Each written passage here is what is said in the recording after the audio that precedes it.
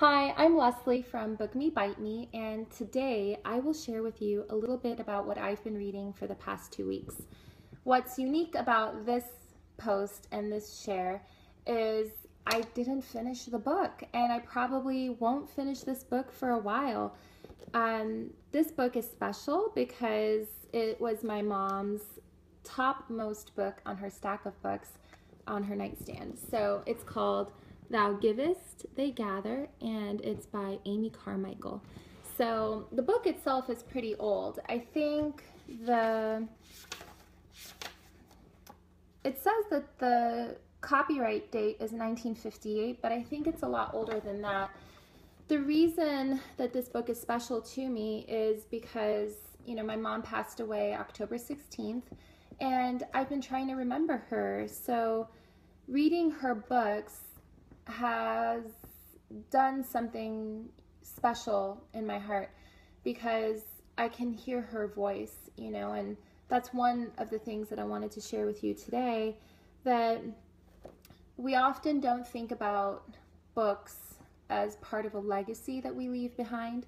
And, you know, today we live in a digital world and we're thinking, you know, why buy a hard copy, a hard copy book versus a digital book or using a Kindle or any other e-reader. And those things are great. They're absolutely great.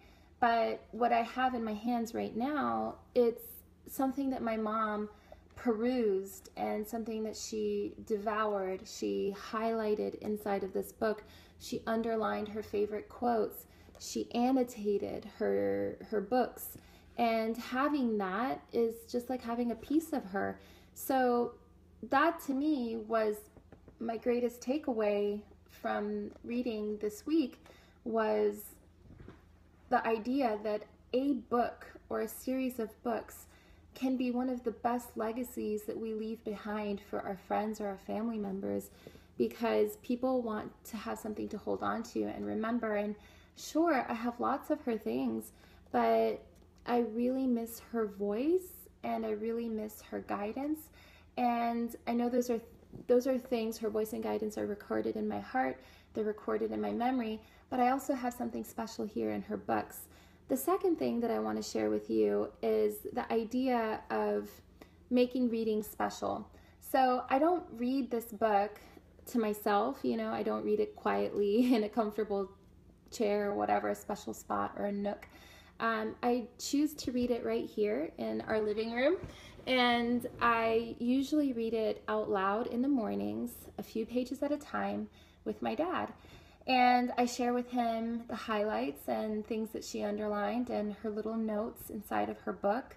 And that's special. There's something beautiful about hearing the words of a book being read out loud and making it an experience, especially given the circumstance that, you know, my mom passed away on October 16th and, you know, these are her prized possessions and being able to share that experience of reading a book out loud, it doesn't exclude anyone. It doesn't keep the experience for myself. I feel like it creates this new experience that expands the meaning of the book even more.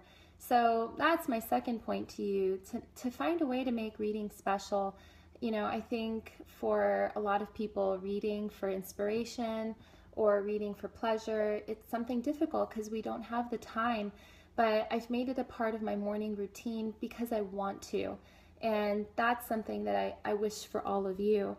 Uh, the third thing that I would say is having this lasting impact on things that we purchase. And I think, you know, we we buy things and we so casually discard them. And, you know, this book was a used book, and um, you can see my mom used it a lot too, in addition to it being purchased as a used book. But this is the, the what we say is the spine of the book, and you can see the crease, you can see that it's well worn here and here, and you can see her her tabs. She has tabs here. She has one where she has a paper in there, you know, and she often used receipts as her bookmarkers. So, this idea that we don't have to discard things, that we can share them, pass them along, or even pass them down through the generations. So, the content of the book is really rich, and I think it's going to take me a while to get through the book, which is what we say with Book Me Bite Me it's savor the read. And partially because I'm reading it out loud a few pages a day with my dad, but also because the content of the book itself is so rich. Um, I want to leave you with one thing that she wrote. You can see here her um, her annotations, but it's really beautiful. It says, she wrote, my mom, I want to sing like birds, not worrying about who hears and what they think, by Rumi. And if you follow our posts, you know I've written a lot about Rumi.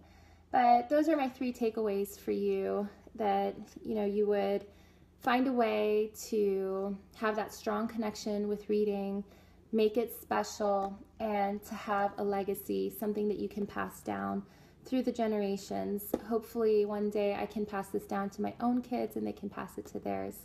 This is Thanksgiving week, and I'm so grateful that I have things like this from my mom that I can treasure and hold on to and share with you.